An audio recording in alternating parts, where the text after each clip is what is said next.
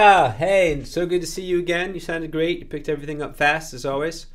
Um, okay, so just a quick review. I finally gave you some scales today. At the 12th fret, all the notes repeat E to E, B to B, etc. That's called an octave. An octave is the same note in a higher or lower position. So when you play an extended scale, you start on the open E and then you go to the 12th fret. So it starts even O, 2, 4, and it's odd 5, 7, 9, 11, and you have the 12th, the octave. This is just an E major scale. You can play that on any string. And then I gave you the on off. So you start with two E's and then you go on the fret, off the fret. You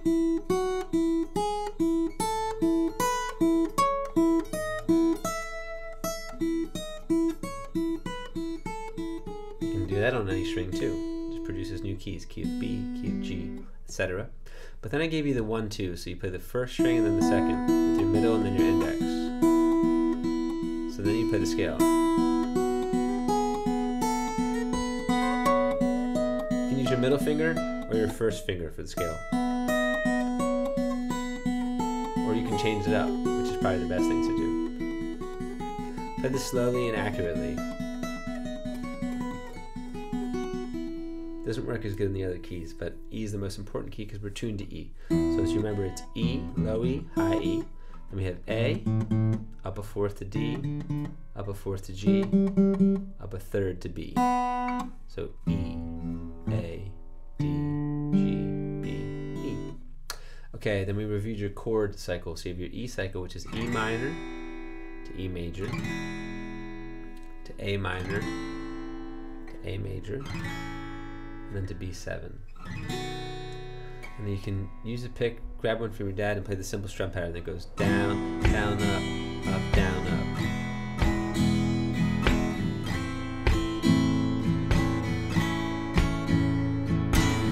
And say the chord names as you're playing them so that you really feel secure what all their names are. And then the other chord cycle I gave you started on a four finger G, so this is new for you. It's very easy, but it's different. And then C add nine, you shift these two down. That's a five string chord, five, four, three, two, one. And then for D, keep that ring finger where it is. And if you find your book at uh, Ignacio's house, uh, in the back of your book is the chord um, diagrams with all the different chords I teach.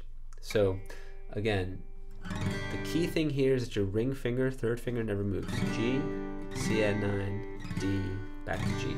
You can do it with the same strum.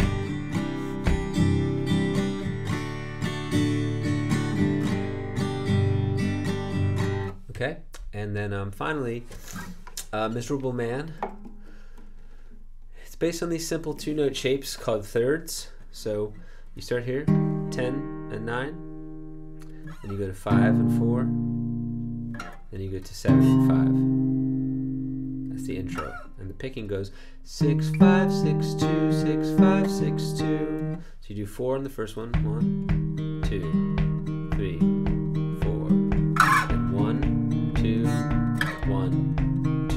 2. That's the verse.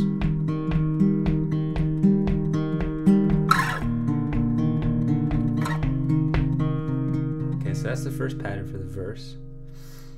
And then the um, pre chorus pattern goes past the starting point to 12 and 10. It goes 12, 10, 5, 7. Just doing two beats on each. And even though you're going to be tempted to use that other weird fingering, don't do stick to this because your first finger is always down, and it's good for you to be able to change fingers this way. You'll see why in time and then you have this pre-chorus that only happens once. It's the only time you have a one-finger chord, and it goes by really quickly too. You just do it once, so it's sorry, two and three and five,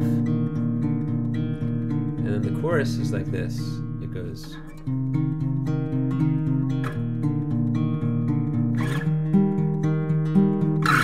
So numerically speaking, it's seven to five to 10.